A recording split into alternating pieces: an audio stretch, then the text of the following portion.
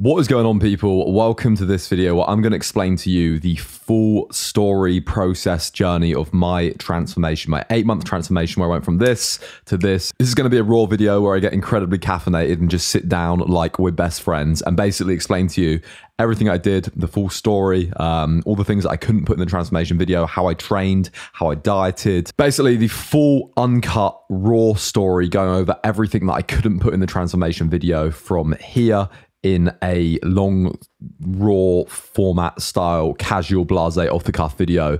It's going to be a tough one for me because there's a lot of footage in here that i, I didn't want to watch or i haven't watched. Um, there's going to be a lot of raw clips and things like i'm going to relive it basically and uh, just explain to you everything like where i was at mentally what i did to get through it. I get a lot of people asking me like how do you deal with not being able to train and the isolation other things. Viewer discretion is advised as well because there is some pretty gross gnarly bits in here. Uh, so be warned going into this. This is the full story of my transformation. So, a little bit about me. Um, I mentioned in the video that I was always like a bit of a weird kid. My childhood wasn't bad, but I would get picked on, I would get bullied. So, I'd get on, on the bus home, for example, the bigger kids would fucking not be very nice. And I'd run home to my mum, crying my eyes out because I felt like everyone hated me and no one didn't like me. But overall, my childhood is pretty good, dude. And when I, when I was younger, like I felt like I was never really in a proper group. Like I was kind of like, I had some friends that were like the Chads who used to go and play sports every now and then I might go and do that. But then I'd also spend a lot of lunch times playing Minecraft in a computer room or playing like video games on computers at lunch just to kind of like escape everyone with like all the nerdy kids. So I was never really like in a fixed group. And I, I don't want to make out like my life was so hard. My childhood was horrendously bad and I was beaten up every day and all this stuff. Yeah, sure, I was thrown down some stairs and I was beaten up and like so, some shit did happen, but I think it happens to everyone as well. And I was I was diagnosed with a condition called lymphedema when I was about 10 years old. And what happened was one day I got ill and I didn't know what it was. Um, I, I, was ill for a period of weeks. I couldn't walk. My dad had to carry me everywhere. I had to be carried by my parents. And eventually I was finally diagnosed with this condition. I think it was actually a few years before they, or like a year before they actually found out what it was, called lymphedema. And this basically means that my lymphatic system in my left leg doesn't work properly. So I have to wear this black leg support on my leg. It's a degenerative, incurable condition. It's meant to get worse as you get older. But but I refuse to accept that and I refuse to believe that. I will live a full and fucking sick life. And it just basically means that I have to wear this leg support on my leg at all times or I'd literally be disabled. So yeah, um, I've got this condition called lymphedema in my leg, which makes me, it does a couple of things, right? So first of all, it makes my leg swell. So if I don't wear a leg support, if I don't wear the black thing on my leg, then within probably about half a day, a few hours of me walking around without it, my leg would literally balloon to like the elephant man or like a fucking tree trunk.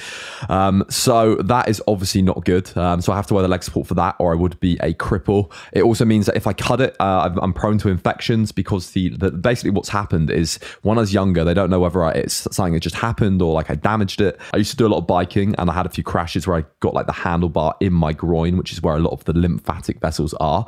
But if you imagine like a small a system of veins, almost like the veins that go around your body, but really, really small. They can they, they transport something called lymphatic fluid. It's involved in your immune system, involved in transporting waste, um, involved in various things. Like if you bang your arm and it swells up, it's due to your lymphatic system.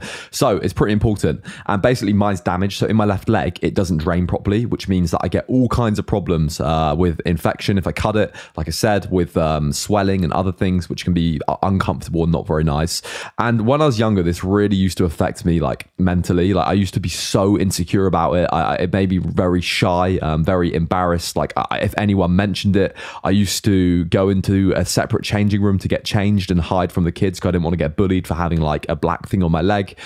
Um, when I got my first girlfriend when I was younger, I wouldn't let her see me in like underwear or shorts. I would never wear shorts. If it was like 30, 40 degrees, I'd wear trousers because I didn't, I was embarrassed of the leg support. Um, I'd go to the bathroom to get changed to take it off in front of my girlfriend. It really, really affected my life and made me like it made me hate myself a little bit when I was younger, and it gave me this anxiety about judgment from others, and like I just wanted to fit in when I knew that I didn't, and really felt like I didn't, which in hindsight is stupid. Um, so I started to train. I wanted to be more confident. I wanted to be able to have better interactions with girls. I didn't want to be the guy that like is too scared to ask the girl out or too scared to like try and kiss someone in school or whatever and then get rejected but then i'd never even get to that stage because i'd be too scared to even like put myself out there or try or ask if someone wanted to go on a date that i'd end up going home by myself wondering like what could have been and that was fucking painful and i didn't want to go through that anymore. I started to train because i wanted to be more confident. I wanted to get more girls. I wanted to be someone that I would like look in the mirror and, and, and like and want to see. So I began training about 15, 16 years old, which is when I first made that transformation video. Got in really, really good shape. And then, as per the original video, when I was about 18, got sick, got an infection in my knee, went through all that shit, lost all of my size, got down to about 60 kilograms. And uh, then that's when I made the OG transformation video that took off and like kickstarted my career into fitness. In the past, I've got infections where my knee has like become infected due to my immune system being like extra fragile and extra prone. And to cut a long story short, uh, the video started when I got a flu. Like I didn't know what it was. It was like flu-like symptoms. I was ill for a few days, and then I seemed to have got better. And I had this pain in my knee, which gradually got worse and worse and worse and worse. And I like knew deep down what it was because I've been through this before. And that just got worse and spread to my ankle. My whole knee was in absolute agony until I couldn't walk at all. I had to get around in a freaking wheelchair, which is not good. So I went to the hospital, um, and they did something called a knee aspiration, which is where they put a big needle inside your knee joint drain yeah, the fluid off. It's it. about as painful as it sounds. It's fucking not nice. And they they drain the fluid off, pull the fluid out, and they run the fluid for testing to see what's inside oh. the knee. And the guy actually screwed it up once when he did it. No anesthetic, no painkiller, nothing like that. And as you can tell, it's not very enjoyable. So I didn't I didn't mention this in the video, but I when I went for this like knee aspiration thing, I went in and they didn't take my heart rate, my temperature, anything like that. And then I I asked them to as I was leaving, and I was like, "Are you not going to do my obs, my observations?" So they took my temperature, took my heart rate, took my blood pressure, and they look bad. Like I had a temperature, my heart rate is elevated, my blood pressure was low. So they were like, okay, that's not good. You have to stay in. It's like if I didn't mention that, I would have just been sent home. So I didn't actually go home and get a call. I think I was still there. And then I ended up staying in, maybe coming back after getting my stuff. Kind of knew that I was down shit creek. I kind of knew, like, expected to have a surgery, but in the past, I've been out within a few weeks. Like, other than the main transfer, other than the first video that I made, it like hasn't actually been that bad. Um, but I did not, I, I had no idea what was coming. Yeah, I got surgery today basically, and I thought it'd be funny to tell the surgeon that I want the do not resuscitate. It's pretty typical a day that I have the surgery. I wake up, my knee is like significantly better for the first time.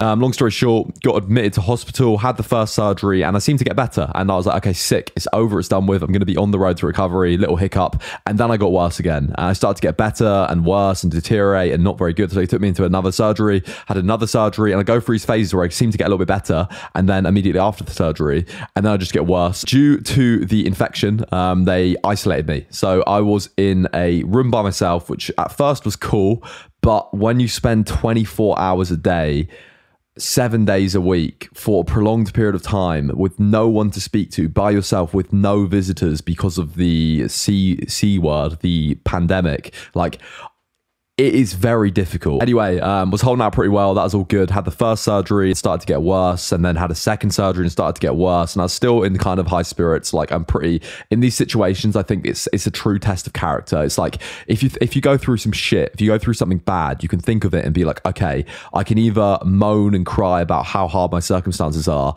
or I can lead by example and like show that I've got a strong character. I'm to be strong. I'm to get through this. I'm to inspire other people. And that's kind of like the mindset that I go in with it. Go go into it with like I'm gonna be fucking strong. And a lot of people aren't gonna be able to handle this, but I can. I'm gonna be able to do it. So like I was all right. And I haven't told anyone this before, but I used to be a hypochondriac. So I used to be scared of dying and illnesses. And I used to think I was going to die like every day as a kid. When I was like six, seven, eight, I'd get into bed and I'd just cry myself to sleep because I was like convinced I was going to die of like cancer or like die of some like weird spinal disease or some weird disease. Like I used to be convinced that I was going to die and so scared of doctors as well. It's quite funny, like careful what you wish for. Um, and injections and anything to do with a hospital. I was petrified.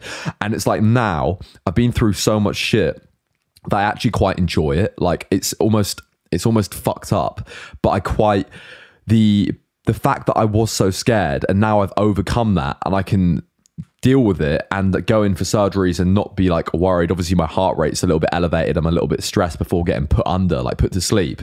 But knowing that I can actually like handle it well and like deal with it and do it, go through it by myself. Like I would have never imagined like doing this on my own is like actually quite rewarding. So it's kind of the way that you look at it as well. But anyway, um, ended up having two surgeries on the knee and kept getting worse. So was not getting better. My CRP, the inflammation marker in your blood, kept going up and up and up and up. Um, I was still spiking a temperature. Like every time I thought I was getting better, thought I was about to go home, then that'd be stripped away from me because I get a temperature, and I'd get to these stages where I was like, okay, I'm going home now, and they'd be like, no, you're not. Sorry, you have to stay in, or you have to go for another surgery.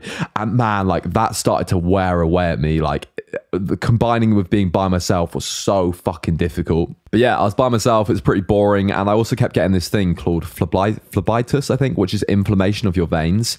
So where they put cannulas in my arm, um, where they put like the IV and the antibiotics and the drugs into you, they my veins would reject it. So after about a day or two, my veins would go rock hard, and when they gave me the antibiotics, it'd feel like my my veins were literally burning, like they're injecting bleach into me. And this is also due to the NHS, the National Health Service in England, not being very good. So, like, they were meant to flush the IVs through after I'd had my antibiotics with a saline solution, which is like uh, salty water. And quite often the nurses would just forget or I'd be waiting like six hours with this like IV still in after the antibiotics finished, which would just cause my veins to go like rock hard and inflamed and it put me in agony. So it got to a point where I just hobble out on my crutches, go to the nurse's like drug cabinet, take the syringes out myself, and then just flush my own cannulas or flush my own syringes because no one else would be there to do it for me. So I was like literally injecting myself with the saline and then I'd take the IVs out as well because I'd be waiting all day for a doctor to do it. And then the nurse would come by and like, oh, someone already done it. I'd be like, yeah, yeah, someone's already done it. So that's pretty funny as well. You just got to find things that keep you entertained. And there's a book called Man's Search for Meaning, which is really, really good. I recommend everyone everyone reads it. And it's about finding like dealing is for someone called Viktor Frankl who was in Auschwitz concentration camp in the Holocaust, really really nasty stuff. People getting literally executed like cattle.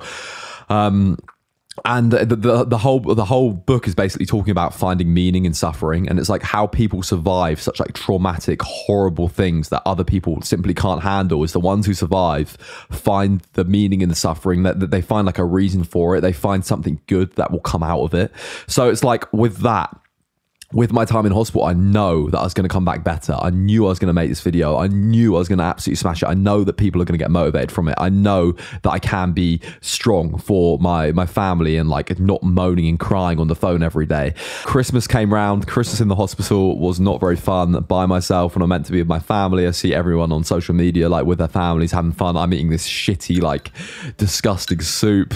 Um, feeling pretty sorry for myself at this point. Like I, it's starting to wear on me, man. That the time spent in the hospital hospital. But you just got to look for little things like that that are entertaining or bring you joy and enjoyment and like appreciate the little stuff. Like you've got to be glad that you're getting the medical treatment. I was glad that I was alive. I was glad that I was actually getting treated and not like at home, literally dying by myself or somewhere in the other in another part of the world where you wouldn't be able to get any medical treatment or anything. So it's it's about being grateful, like for what you do have, rather than looking for the things that, that, that you don't. That's how like during these times, generally, I, I'm probably happier or in a more positive mindset in this hospital than I am a lot of the time outside of it because it makes you appreciate everything that you do have and how lucky you are and how fortunate your life is that you can walk. And like all you want to do is walk but you can do that normally and that you're you can see and you can hear. You're not blind you're not deaf you're not disabled you're not terminally ill. Like it really makes you appreciate that and realize like how you, you're just lucky that you haven't got these horrendous things happening to you all the time. And even this, like in the hospital, the stay, man, like people go through so much worse. This ain't shit. All right, so surgery number two is going down in a couple of hours, and I've basically got to decide whether I want like my knee joint like removed, or if I should argue for surgeon and get something less invasive. But it's so fucking hard, man, because like I don't fucking know time ticked by in hospital. Christmas came and went. Christmas was quite tough by myself, uh, being in hospital, being in the room alone. But then, what I didn't mention in the video is my girlfriend Queen actually came to visit me, which is good. You're allowed one visitor for 30 minutes a day or something but the visitor can only be one person so i wanted i wanted to see my girlfriend but she lives six hours away so she couldn't come down for the first like few weeks and i was like okay i want to see queen i want to see my girlfriend she's called queen by the way Um, I want to see her, so I'm just gonna literally isolate myself until she can get a few days off work. So I sacrificed seeing anyone else so I could see her for the few days for the weekend that she should could get off work. So after Christmas, um, she came and saw me, which is really, really good. Absolute star. Like it made me, it, ma- it made it bearable, man. Like I didn't give her any props in the transformation video because I didn't have time for it. But honestly, she was like a fucking as cheesy as it is, like a rock for me. I love you to bits. She came to visit just before New Year's, which was cool. Um, I actually escaped on New Year's. So I left the hospital ward. I was so done with like being in there. I was like, oh yeah, just to the nurse. I was like, I'm just going for a walk on my crutches. And they're like, uh, no, no leaving the hospital grounds. I was like, yeah, yeah, I'm going clubbing. And then the thing is, I actually went clubbing. So I went to a nightclub, which is quite funny. I walked in there just for the New Year's countdown, walked in there straight. I was like trying to be incognito straight away. The girl was like, why have you got a cannula in your arm? Because was trying to hide it. And she was like, oh my God, I'm a nurse, a girl on the door. And I was like, oh, fucking hell. Walked straight into the club, straight away, two people recognized me. I'm like, I thought you were in hospital. Like, are you out? And I was like, oh no. So anyway, stayed for the countdown and then went back to my hospital bed um, to, for, for the rest of New Year's. But that, that was kind of nice, man. And then, and then Queen left and then I was back by myself, but I thought I was getting out. Um, and then once again, I took another turn for the worse and then found out that I needed to have a more invasive surgery um, where they basically remove the lining inside my knee joint. And this is when I really started to struggle. So it was like, I thought I was getting out. I thought this was it. I'd already been in for a few weeks.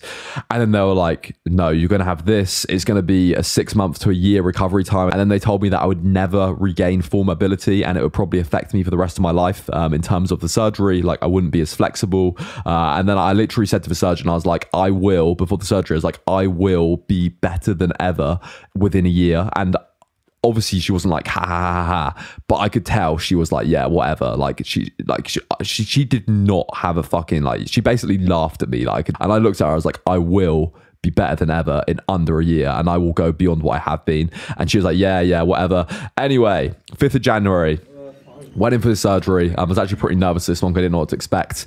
And uh, they do something called a nerve block. So I'm probably put to sleep, under, and they do a nerve block on my leg, which is where they completely paralyze my leg. And I didn't actually know this, but they said that they do the nerve block because do you know when you're put to sleep, even though you're put to sleep and you're not conscious, your body still feels pain?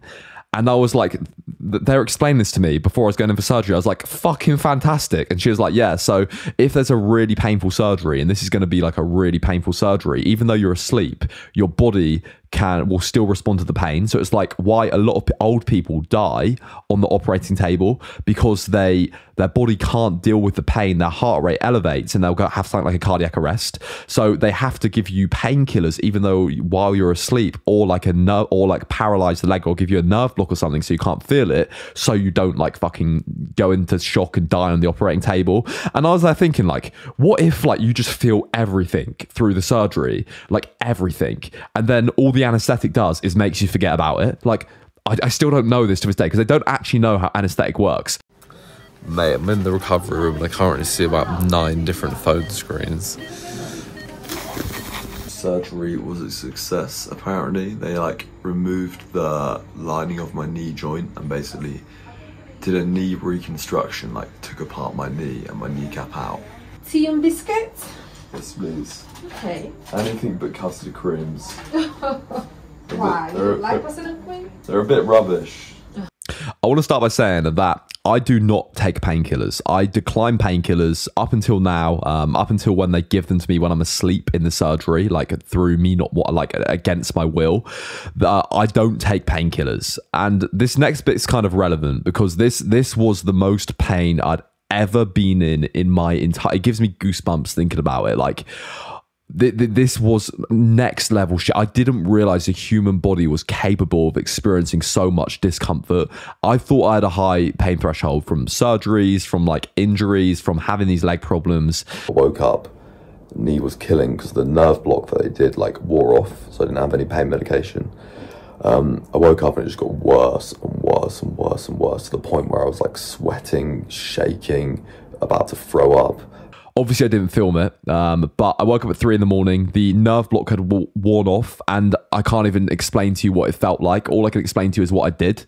I was sweating through all my clothes, through my bed sheets. I was like dry heaving, almost throwing up. I was like rolling off the bed. And I was just like smashing that button for like the nurse to come in, and I was like give me the fucking strongest painkiller that you've got. So they gave me morphine. Uh, it made it a little bit better, but then the next 24 hours are a bit of a blur. But anyway, plan for today is is I'm currently on loads of painkillers. I can still feel the knee, but I'm on morphine. Um, I've had some like edibles as well, uh, which I brought into hospital with me, and paracetamol. And it's bearable right now. But plan for today is is to remove the drain, remove the drain from my knee, the like tube going into it, yeah, so after that third surgery, when I thought I was going home before it, um, but I wasn't, I was like, there was no end in sight. Like, I didn't know when this was going to end. I didn't know what was going to happen. I didn't know if it was going to get better because every time I thought I was going to get better, it'd be like taken away from me and I ended up spending more weeks in hospital, going through more pain and more surgeries. And then after that third one, I, I kind of had like a mindset shift. Like, I was in a really bad place after my girlfriend left, after Queen left. And I was like, it's the first time where I, it's a bit embarrassing. It's the first time where I was actually like, I'm fucking done. Like, I don't know how I can handle this anymore. I can't do it. After coming coming up to a month, I was like, I literally don't fucking know. Anyway, I had that third surgery and and something just flipped in my head, man. And I was like, right. It's cliche, it's cheesy, but I was like, I was like, I was like, I'm not fucking staying in here any longer. Like, we are going to get ourselves out of here. We're going to do everything we possibly can. And I was like, I'm not going to sit in bed. Um, I'm not going to feel sorry for myself and be in this place any longer. So, what I started to do was I started to get dressed every single day, even though I could, could, couldn't leave my bed or could barely move. Um, I started to put wear, wear normal clothes every single day to be like, okay, yeah, we're, we're not staying in a fucking hospital gown. We're getting out of here. So, every day I'd, I'd have a shower in this like little disabled, I'd like drag myself, like crawl to the shower, sit in this disabled shower with my with my knee out. Um, it was it was fucking painful, and then I'd get changed like I was going home every single day. I would do this just to like instill that mentality of like I am going home. I'm not staying here. Viewer discretion is advised. Do not watch this next part if you're squeamish. Basically, I've got this like vacuum drain that goes into my knee and it's like draining all the shit out of it. Um, so I had the surgery earlier and look how fucking gross this is, man. Mmm. Strawberry smoothie. After surgery, they had like a knee drain in my knee, which is a tube that goes inside your knee joint. Nurse came to take it out, and I was like, "Is this going to be painful?" And she was like, So all I do is I get you to take a deep breath, Yeah. and when you're breathing out, I pull it. Fuck's sake. I was like, this doesn't sound like it's not going to be painful to me. She didn't say anything. It was like three, two, one. Pulls this like six inch tube from inside of my knee. Uh, and then we could like get to work. So saw some physios and they decided to try and get me out of bed. Like this is the same day or the following day from a surgery.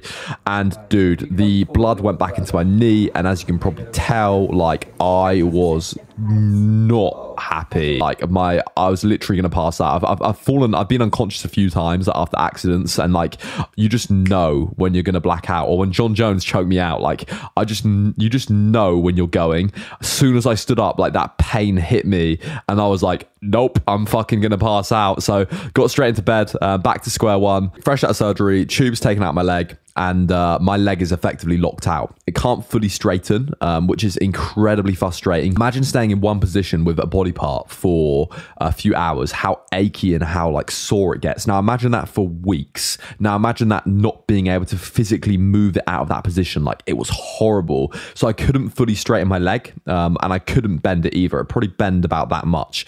So they put me in this machine called the CPM machine, which is this thing that bends your leg very, very slightly it's like my leg. Obviously, I know my leg bends, but it's like my leg wouldn't bend. It's like someone telling you, oh, your finger, right? If you bend it backwards hard and enough, it will eventually bend backwards like that normally. All you've got to do is force it into that position.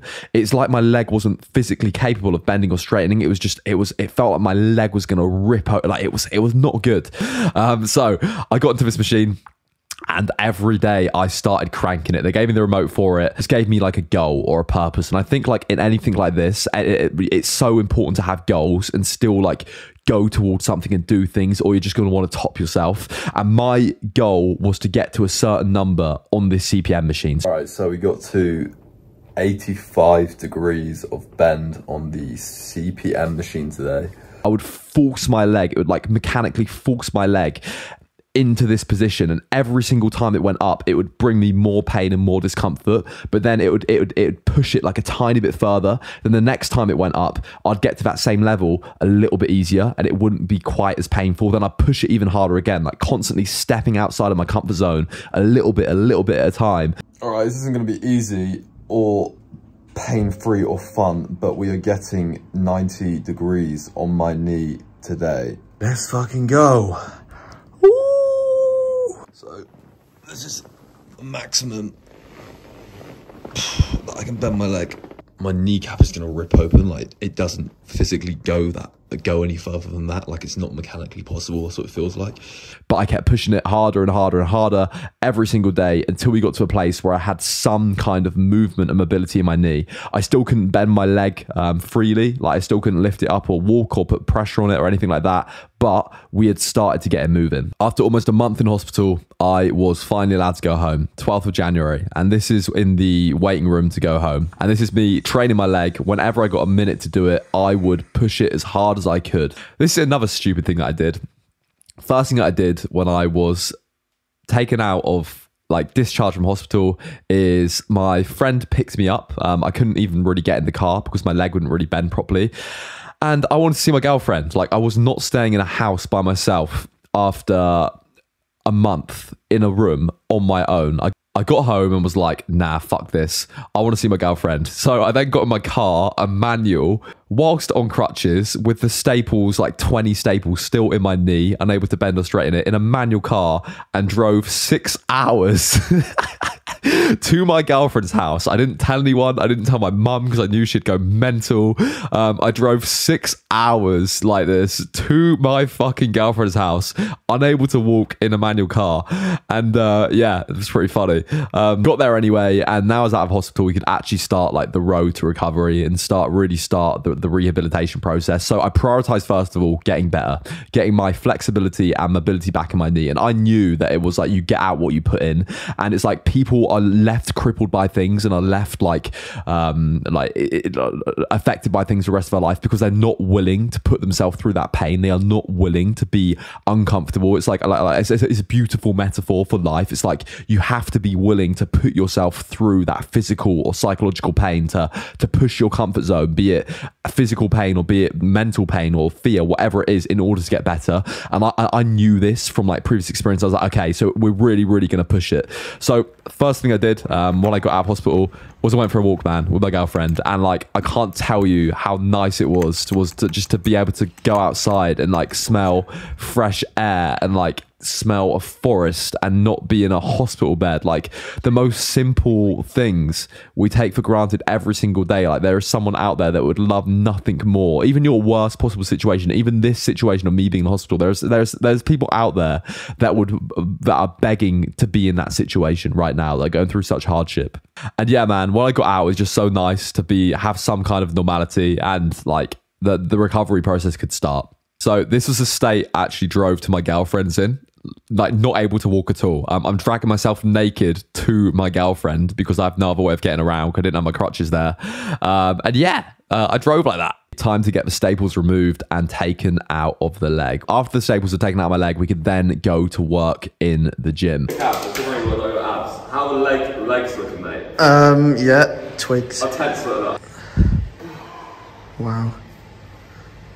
Alright, I'm fucked, Danny. There's no coming back from this. I didn't actually realise how fucking shit I looked. Um, this is the start of my sick, mad transformation. So the reason I was able to make so much progress so quick was because of muscle memory. I've had 10 years of training experience before this. So my muscles are like primed and ready to grow and ready to go. When you train, uh, what happens is your muscle cells are multinucleic. They have multiple cell nuclei within the cell. So you have a little cell, you have a nuclei within the cell. Muscle cells can have numerous nuclei throughout the cells. And these nuclei are what produces or assist in producing the proteins. The more nuclei you have within your cells, the more quickly you can produce muscle proteins. So, because I have this 10 years of training experience prior to this, my muscle cells are incredibly dense with muscle cell nuclei. So, I can synthesize protein, muscle protein, very, very quickly, which is what muscle memory is. So, the rate of progress that I made is probably comparable to someone on steroids, like without a doubt. Like, I, I would not say you could do that without the, without assistance or without the previous training experience from muscle memory. So to answer your question, the reason I got so big so quick was because number one, muscle memory, number two, genetics, number three, my training and diet was absolutely on point. Number four, I had such a fucking burning desire to prove everyone wrong and absolutely smash this. All my life I've been told what I can't do. Like you can't do this, you can't do that. And it's like it's it's obviously my ego speaking, but like I, I use it as fuel, as a big fuck you to all the people that tell me the things that I can't do. Like it's what motivates me to train. It what what motivates me to to push boundaries, to do things which other people aren't possible. If you tell me I can't do something, I will do it out of pure ego and just to like prove that fucking person wrong, you know? So it's like the surgeon telling me I'm not gonna get not gonna I'm not gonna regain that form ability in my leg. I'm not gonna get to this point. I'm like, that drives me, man. That gives me fucking fire. The people that are doubting that I'm gonna get back to where I was, that I'm like beyond saving, like that shit fucking fires me up. As soon as I could walk, as soon as the staples out of my knee, I started to train again. I still couldn't really walk properly, as you can tell. Um, I couldn't sit on machines with a bent leg because my knee wouldn't really bend. So I'd make some adaptations to the training, but we went in. The way that I trained was I prioritized recovery first of all. For the first month, literally as soon as I was out of hospital, I started to do rehab exercises, um, recovery, things to improve flexibility and start to work towards that goal of getting fitter than, and healthier than ever. But the first phase for me was the priority was getting better, um, was getting that knee back to where it was. And whilst I did that, I trained as well. So what I did was I ran a split, that was a hybrid split between rehabilitation exercise on my leg and bodybuilding type exercises on my upper body and the, the, the kind of bodybuilding stuff I could do with the condition that my leg was in. In terms of upper body training, what I did was I didn't want to go straight back balls to wall into training because I hadn't trained in almost a month. So whether you're new to training, if you've taken a break for training, if you've got an injury, here's kind of like this, you should kind of do a similar thing. So what I did was I started at a lower volume. So maybe I'd only uh, do three exercises per muscle group per session. So chest, I'd only do like three exercises. With those exercises, I'd do two to three sets per exercise and I'd go nowhere near failure. So I'd do like RPE seven to eight, which is not like me because normally I'd have to train balls to the wall. So what I'd do then is for the first few weeks, I'd do reduced volume and reduced intensity just to get my body used to training again, just so I don't fuck myself up and like overtrain like too soon. After about four weeks, what I then started to do was increase the volume a little bit. But the main thing I started to do was really, really increase the training intensity. All my sets were balls to the wall, failure, focusing on progressive overload every single week. So I'd make sure I was either doing more reps or adding more weight to get stronger. I was tracking my lifts and following a structured training plan as well, whilst doing all the rehab work on my knee. And I kind of merged just like bodybuilding hybrid type split. If you want a solid program, um, I'll put a free program down below that's similar to what I am running or have run during this, during the transformation. Recovery continued, man. And I, I can't tell you how tedious it is to, to, to sit there for like half an hour, an hour, and just focusing on bending your leg when it seems like it isn't even moving. Like, right, this one goes down straight. This one doesn't. We gotta make it straight.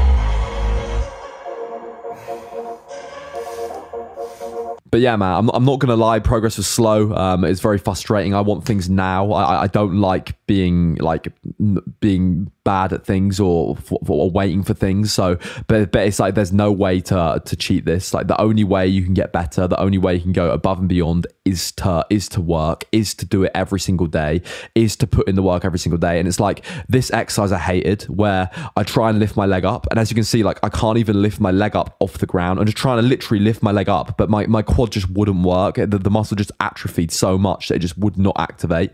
How mad is that? That's my maximum. I think that's really good from like where you were though. In past volume.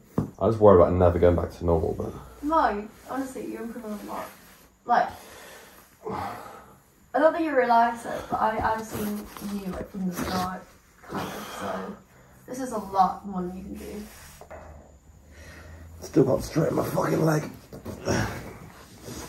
it's frustrating knowing that you're pr- you were previously squatting like f- four plates for reps and now you can't even move no plates on a leg extension. You can't even do a leg curl. You can't do the most basic simple exercises because your leg just doesn't work. But we stuck at it um, we kept working. We slowly started to add resistance slowly started to see progress. Every day i would i would i would just push it harder and harder. I started cycling um, on the machine just like a 10 minute warm up and every single rep on that or every single pedal was just agony because like my knee were like it, it, it doesn't look bad but every time it went up, it would be like hitting a nerve. It would feel like a nerve was getting hit, and my knee wouldn't bend that much. But I'd keep going. I'd keep cycling every single day, and every day, inch by inch, I'd get lower the seat just to cause my knee to bend a little bit more and just to go in that right direction. Plan of attack for the training is I was going to spend a few months bulking up and then go on a cut. During the cut, I still got bigger because of the recomposition. So a recomp is where you lose fat and gain lose lose fat and gain muscle at the same time. There's a few different circumstances you can do this. Number one, if you're taking steroids, you can get bigger and lose fat at the same time. Number two is if you're new to training, which is good. So if you just started training and you train really intensely and train really well, you can actually lose fat and gain muscle at the same time. Number three is if you're obese, if you're really fat and have a lot of stored energy, you can gain muscle and lose fat. And number four is if you're a detrained individual, so someone that's trained previously like me, you are able to gain muscle and lose fat at the same time or recomp. But for the vast majority of people, it's better to stick to one or the other. You got to choose whether you want to gain muscle or lose fat. That's going to be the most efficient way of doing it.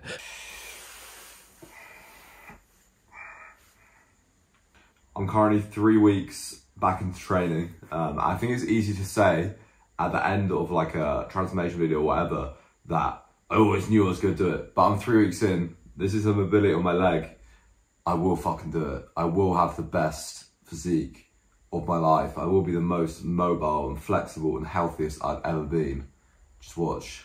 For the first two to three months, we bulked up and we just didn't care about how much we ate. We just tried to eat as much as possible, did a proper fat boy, fat boy bulk, made sure I was hitting my protein, made sure I was getting my vegetables in, uh, ate out a lot, enjoyed myself, like enjoyed the freedom and not being trapped in a hospital room. It was around the beginning of February that I felt like my leg finally had enough stability and enough motion to start to incorporate some resistance training onto it. So this is the first leg press that I've done with no weight. I can barely even press the weight. I could probably do like five, six plates on it now. Um, out of surgery. And this like felt like a, a, ton. This felt like a million pounds. But the fact that I can even do this was a victory in itself. Doing these sled push pulls that I said are really, really good. Um, I recommend to anyone with any knee problems, you should be doing these. And uh, just pushing it day by day, man. Started doing these stretches as well. I think they're called couch stretches. Um, and as you can see, like I've barely got any mobility in my leg. Like it's it's beyond 90 degrees now, which is good. It's probably at like 60 or 70. But I want to be able to touch my heel with my ass. That is the goal. And I, I couldn't do that before the surgery. So what I do is I do these stretches every couple of days and just push it harder and harder and harder and harder until I start to get more and more and more mobile. Let's see if I can even rep this because two places is feeling heavy. But remember kids, always lift with your ego and dependent upon your lifting partner. Start a march for about 86 kilograms, still bulking up, still getting heavier, still getting fatter. You're starting to see it in my face. I Actually, this is another brilliant idea for myself. I actually booked a snowboarding trip on the 18th of March, one month into my recovery when I still couldn't really walk. I was just off crutches. I was like, okay, I'm going snowboarding next month. I'm setting this date. I'm gonna be better by then, or I'm gonna be able to snowboard and and run by then. So about 10 weeks post surgery, we went snowboarding, worked towards that. Everyone was telling me not to go, not to do it, how stupid it is. My parents are like, What are you doing? But I think if you remain in your comfort zone and don't push yourself and don't set these like ridiculous goals, and you'll never get better. It's like, I'm not necessarily good at anything. Like, I'm not mentally tough. I'm not especially like hardcore or, or anything like that. The, the reason that I, I do what I do and I get better so quick is because I'm just aware of the importance of doing shit that puts you outside of your comfort zone, doing stuff that isn't fun, isn't pain free, isn't comfortable, isn't nice. It's like doing these things are what's going to make you grow. Slowly started to implement compound lifts back in. Um, started bodyweight squats, and then we started to slowly add in some weight in the form of a kettlebell. Again, like we're just kind of three three sets for these on my legs, doing higher reps just to ease ourselves in, and uh, really really lightweight. Elevated my heels so we can get a, easier, so we can get better depth easier with heel elevation on squats because my knee mobility still wasn't great. But as you can see, that's pretty damn good, man. Two months after the surgery, and like this is literally said to me it was going to be impossible, and, and we're squatting already, which is like what the fuck, mate? What the fuck? At the end of March, we've had about two to three months bulking, and I am pretty chubby, 90 kilograms at five foot 11. And as you can see, like we've got big, we're, we're pretty big here, but we are pretty fat as well. And the amount of mass that I gained is is pretty nutty. It just goes to show the power of tren. No, I'm joking. Just goes to show the the power of like a fat calorie surplus and consistently following a plan and training hard and smashing every one of your sessions. Final week of the bulk. We're pretty chubby in the minute, 90 kilograms, and we're gonna absolutely smash this car. Have I ever told you how pathetic and worthless you are? April is when the cut well and truly started to begin. My calories are pretty high. I'm pretty sure I was on like 3,500 calories to start. And basically, what we did is we started with very low cardio. Um, I'm not even sure I did cardio to start. No, I don't think I did. Um, we started with either very low walking or treadmill cardio, or and, and but the main thing we did was calorie restrict. So we don't want to restrict calories too hard. Um, we took my like calories that I was bulking on and just gradually decreased it by reducing the amount of carbohydrates that we're eating. So I think my macros off the top of my head was something like 190, 180 protein, 190 protein, um, around 60 fats on average, and then everything else was made up of carbohydrates. And then what I'd do is I'd track my macros every single day all throughout this. Um, during the bulk, I'll just have a baseline amount of macros, protein, carbs, and fats meant to hit. Anything over that I wanted, I'd have.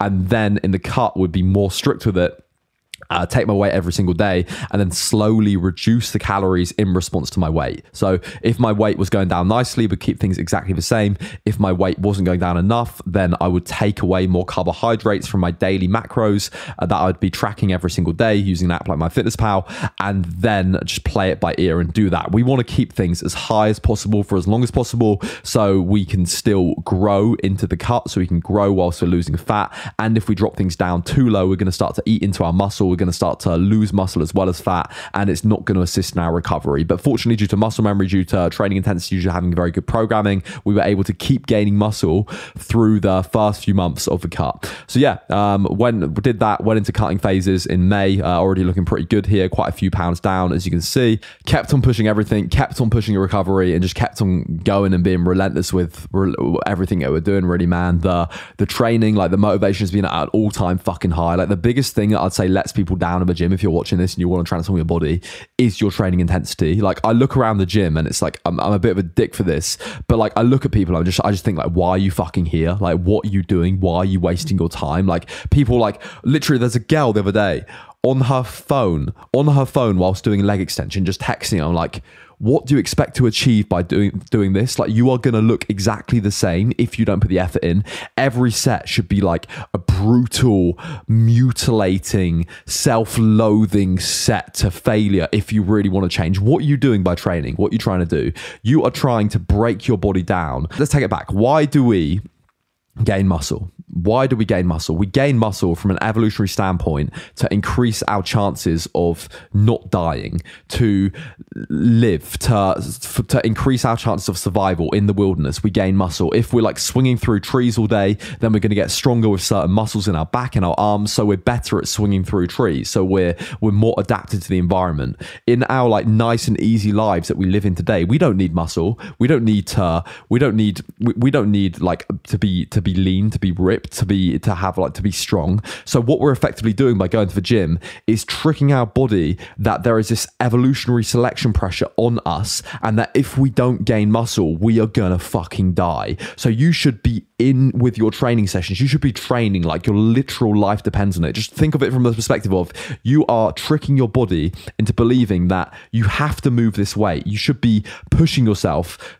so hard that your your body has to adapt to the stimulus that you are applying on it. The weight it has to get stronger, or it's going to die because it's not adapted to the environment. So every session should be like that. And I'd say that is the number one thing that people people don't bring enough intensity consistently into the sessions. It's not good training like that once a week or twice a week. It's like you've got to be consistently smashing those sessions, smashing that intensity, putting passion into the training and training with purpose and intention, following a program and just aiming and striving for that progressive overload week by week because your body doesn't want to change. We like comfort. We don't like we don't like being in um, uncomfortable situations or putting ourselves through pain. We do not enjoy that. So it's like you've got to deliberately push yourself and be in that mindset to to transcend where you currently are during this time like I've, I've really found like i found the balance as well in terms of going out for meals um, enjoying myself going out with my my friends going partying like having a break but also not letting everything fuck up and not letting my physique slide and not letting everything fail. Like uh, learning how to live life enjoy myself and have a world-class physique and be the fittest and healthiest i've ever been. I started running as well um, just because I, again it's something i was told that i wouldn't be able to do um, something I, I thought i'd never be able to do and i'll make another video on that but i've actually run every day for the last 30 days and uh, started running, got super, super fit. Currently in the best shape of my life, mentally, physically.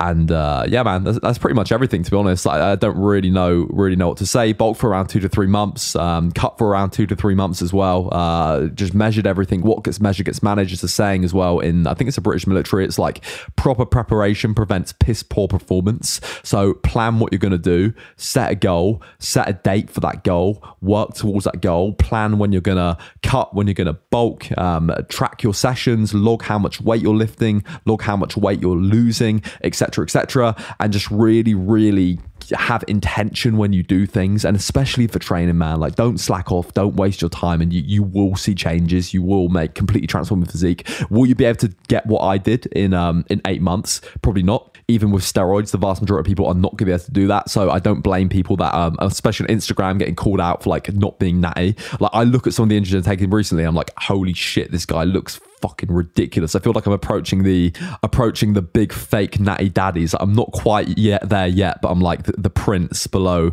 below uh, some of the big fake natty guys. To be fair, I was gonna say Simeon, but I actually think Simeon could be natty. Uh, Micah Hearn, absolutely not. Simeon, I'd say could be native as BBC Genetics.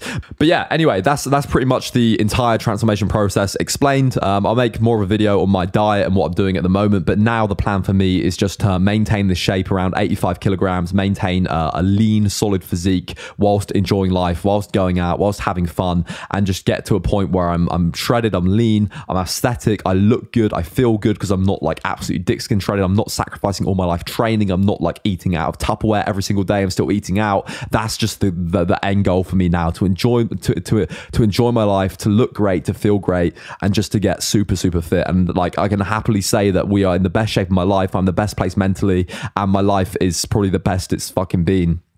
Period ever.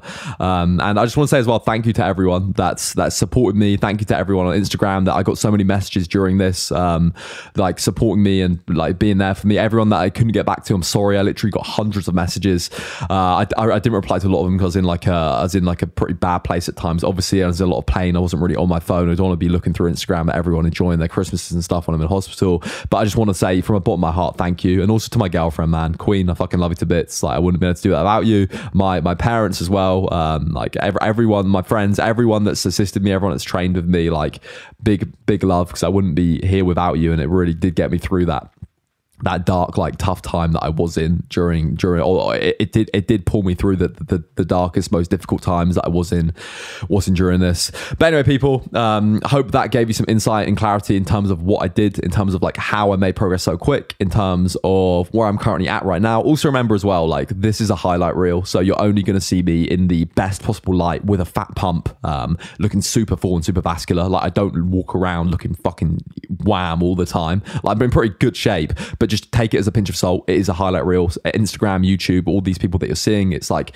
the best possible light, the best possible clip. I'm not putting clips where I look shitty. Um, so yeah, so so don't get don't beat yourself up if you're not where you want to be. Compare your best with their best, and that's pretty much it. If you want a free program, I'll put a link for one down below. If you want to transform your physique, if you want a completely custom meal plan, custom training plan, tailor made for you, Physique Incubator has recently launched as well, which is my brand new coaching platform, completely custom tailored service service for you based on your goals to help transform your body and get you to where you want to be for a very reasonable price. I wanted to make it accessible to as many people as possible. That's just launched. Link down below in the description to check it out if you want to learn more. Um, you can track your workouts with it, track your weight with it, progress pictures. There's recipes, there's shopping lists, there's a complete meal plan custom for you. Like I said, everyone will get individual personalized plans, training, meal, diet plans, and you'll get access to the community Facebook group as well. There's loads of shit. I'll just leave it for you to check out. Just remember, marginal gains, small gains in the right direction every single day. Set goals, set dates, set deadlines. And if your goals and dates and deadlines don't scare the shit out of you and aren't difficult and don't put you outside the comfort zone, then maybe you need to do something else. Anyway, people, hope you enjoyed the video. Let me know what you want to see next time. Let me know if you've got any questions, and uh, I will catch you in the next one. Peace out. I love you to bits. Thank you. Good night.